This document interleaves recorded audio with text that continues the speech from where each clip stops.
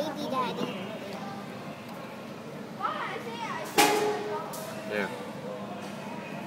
The one with the baby, right?